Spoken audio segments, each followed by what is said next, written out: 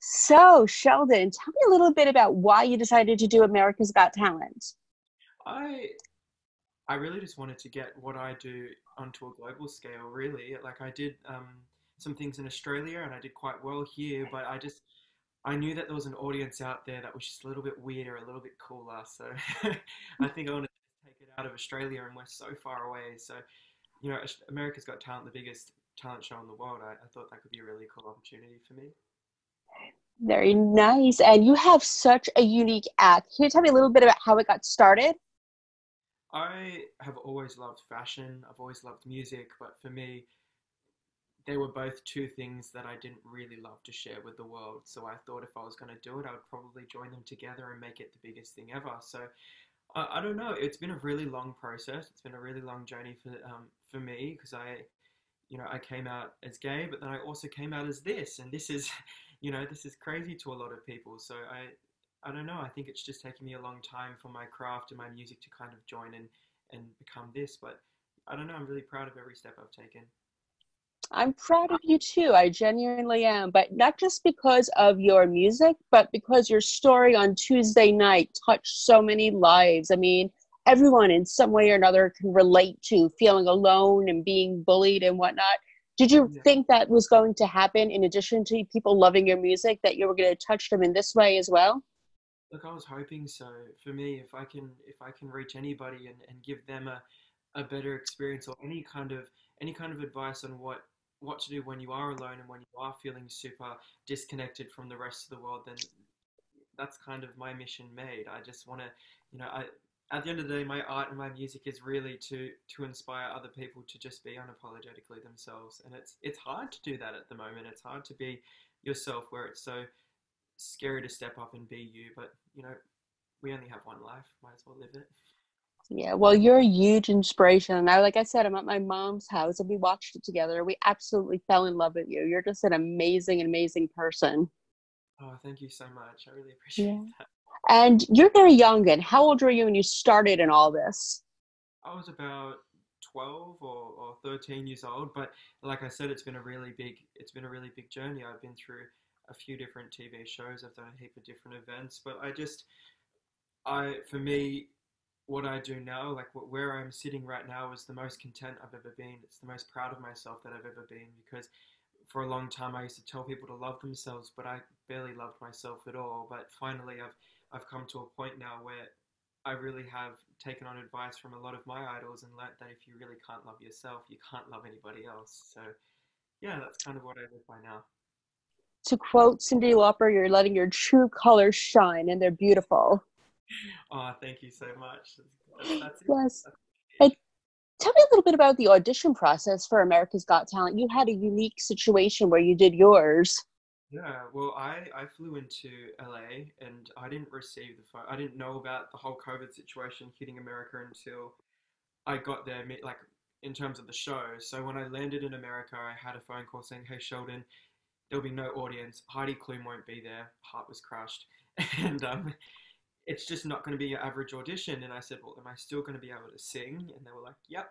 So I was like, all right, let's do it. So I stepped on and I had this weird little moment before I stepped on stage where I thought, I'm going to create a moment. I'm going to do something that is really different and cool. Like I've flown all the way from Australia to come here and sing Billie Eilish wearing the outfit that I've made myself. I need to be just as big as the moment that I've created. And I thought, what do I do best? And that's showing my talent without having to explain myself first. I've never had to explain myself when it comes to what I do. I, I have always proven my worth by my talent and my creativity. So I thought this is the perfect opportunity to get up there, don't say a word, and just just sing and just you know just let them see what you do.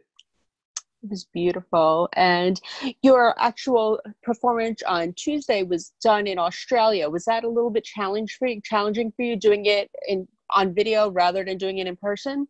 It was really hard. I'm not gonna lie to you. It was a, it was really hard. It would have been, I can genuinely say it would have been maybe five times easier had I been in America. Keep in mind that I'm working on American time and we're about 17 hours ahead. So when you know we're performing live, I'm performing at midnight almost. Like I'm, it's it's it's really quite tough. And then on top of that as well, I don't have that face to face interaction with the judges as well while I'm performing. And I think, like anyone, you know, whether you're in this industry or not, like every industry, when you do an interview, it's always easier when you've got the person in front of you. You can kind of feel the room. So when I say I literally had to be in my own bubble and create my own space, I literally did. So, yeah. And you kind of got to meet Heidi Klum, even though it was on video. Tell me about that moment because I know how much you love her.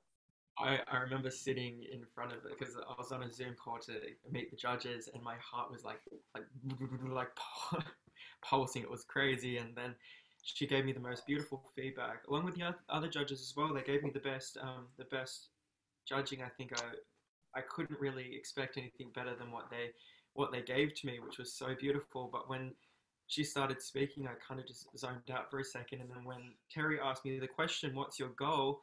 The first thing I had to say was, Heidi, it's such such an honor to meet you because, like, when I say to people that I genuinely watched Project Runway and so many fashion shows when I was a kid, and I watched her inspire so many people. I remember one episode there was a on, on Project Runway there was there was a gay guy that came out with his with his um, HIV story, and there was gay guys that came out with their bullying stories, and there were like, for me, that was so empowering because it was fashion, it was everything I wanted to do, and I was so inspired by these people. And then also, America's Got Talent, I've been watching singers that are in my sort of position be inspired by them as well. So it was kind of a full circle moment from the little kid that used to watch Project Runway in secret at his grandma's house to standing in front of her saying, Hi, like, thank you so much for judging what I do. So, yeah, kind of crazy.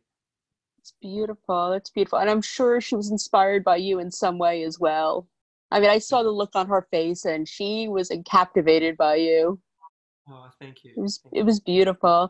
And you also do fashion. Tell me a little bit about what kind of things you design other than your masks, which are gorgeous, by the way. Yeah, so I, I pretty much design and make every outfit that I wear, everything from scratch, like not even custom usually. They're normally from patterns and sewn together, which is really cool. So I don't know, especially in Australia, we don't have many fashion stores that would even come close to selling what I make, so I just have to make it myself. But the crystal masks actually are done by an artist named House of Emmanuel, and he's done some incredible work. He's just done work with Beyonce. This mask he, he lent to me. It was done by another artist as well, though, but this was this was actually worn by Billie Eilish. To be, to be honest with you, this is actually her mask, and he's done he's done work for Nicki Minaj and, and like every Lady Gaga, Ariana Grande. It's it's such an incredible contact for me to have, and such a beautiful friend in my life, and I'm so grateful to wear his pieces. But um, I, I'm so fascinated by sparkle. I just think it's so beautiful. You're preaching to the choir right here. I have sparkle everywhere. So I knew there was a reason we're going to be really good friends. Aww. So what's next for you? I mean, I, I'm so sad and crushed that you're no longer on America's Got Talent, but fingers crossed for the um, wild card um, shows. But what's next for you? I didn't even know that there was a wild card. And then when there was kind of a big uproar when I was kicked off, which I wasn't expecting. The talent of my episode was beyond incredible, and I was such it was such an honor to be on what I believe was the most talented um, quarterfinals episode there was. That was such tough competition in that episode. Um, but yeah, there was a lot of people that were upset about me leaving, which I guess is kind of cool. So I would love to get the wild card. What an honor if I did. But um, for me, what's happening next? I I've been working on original music, and I know a lot of people have said that coming off shows like this. Oh, I'm bringing music out soon, but I have been working in the daytimes when America's asleep so tirelessly on my album, and then in the night times working so hard on fashion and America's Got Talent, and I have not slept. So I'm so excited to show the world what I what I have to offer and what I'm creating. It will be my first album as well, and my first single that I'll release. So it's it's pretty exciting. very nice, very nice. And I'll tell you what, if you want a place to display everything, you have you can do it on TV Grapevine. I will give you a, your own platform right here. Thank you so much. And that is a promise. Thank you so and, much. Of course. And who are some artists that inspire you? I know we were talking about Cher and Cyndi Lauper before we went on air. Um, musical artists. I, I love Adam Lambert, Lady Gaga, Queen, Elton John. um, I'm I'm so inspired by so many people all around the world. You know, gay, straight, I don't I don't care. That's not even a thing to me anymore. Artists who are themselves and whoever they are, that's what inspires me. But fashion wise as well, like Alexander McQueen is incredible. I think there are so many artists out there that are inspiring musicians right now, and I think they need to be spoken about. Absolutely. And I'm a I was raised on Queen. My mom saw Queen uh, in the 70s on um, Madison Square Garden. You got to tell me what's your favorite Queen song? Uh, the show must go on. I just watched them the other day, and it's it's, it's incredible. I actually know Adam. We we did we did a little bit of that. Not not best friends by any means, but he knows who I am, and that is the biggest thing in the world to me. Uh, it, it, it's crazy to know that what I'm doing is being seen by so many people around the world. And one thing I like to ask the people I interview is, what is a fun fact about you that might surprise people? A fun fact that might surprise people. I I I don't know. I, I don't think there's much about. I've I've done so many little interviews now. I don't I don't really know what people think. Actually, this is this is this is one thing. Actually, how tall do you think I am? You're talking short. People think I'm actually six one. I'm really tall, and when people meet me in real life, they go, "Oh my gosh, you are so tall." I think they just think because I, you know, I'm a, a, a boy and I dress quite pretty, I must be short because I'm fitting into these female clothes. But what people don't know is that I'm not wearing female clothes. I'm wearing male clothes. Well, I don't know. There's no gender, but I'm wearing female clothes that are made for a male body. So, I, it, it's pretty crazy. I think that would be my fun fact. I'm really dang tall. honey, you're talking to someone that's 4'10, so everybody's tall to me. well, if we ever meet, I'll say hello from up here. yeah, hello down there. and since we're a TV site, what are you watching on TV these days? My gosh, what am I watching? RuPaul's Drag Race Canada. I've followed anything with that show at the moment. Um, I saw Jimbo got knocked off, which has broken my heart, but he was incredible. Um, and probably Schitt's Creek. I don't know if you've seen that show before, but I yes, it's good. I feel like I can relate to so many of those characters. Oh yeah, I definitely know what you're talking about. There's so many good people on that show. Yeah. and before I let you go, tell me what what would you like to say to your fans? Anything else you want to tell them? Yeah, definitely. I would let everybody know that when you really live the life that you were born to live and you know deep down what that is for you, and when you find that, it is the most magical experience of your life. I've just been voted off the biggest TV show in the world, and all I have is so much love and gratitude for the show and who I am and, the, and what I did on that show. So when you are exactly who you are, you have no other feeling but to be proud of yourself. So I encourage everybody to live life that way. And we love you too. And one more thing, where can we find you on social media? Yeah, Sheldon Riley on pretty much everything. Otherwise, um, You'll find me. I don't. I don't feel like you can really miss it. I just added you on Instagram, so. I'll follow you. I'll follow you now. What's your, all what's right? it's official. It's official underscore TV Grapevine. So easy to yeah. find. I'll follow you straight away. Thank you. Well, good luck with everything, and congratulations on all your success. And I can't wait to speak to you again in the future. Thank you so much. I really appreciate Thank it. Thank you. Bye.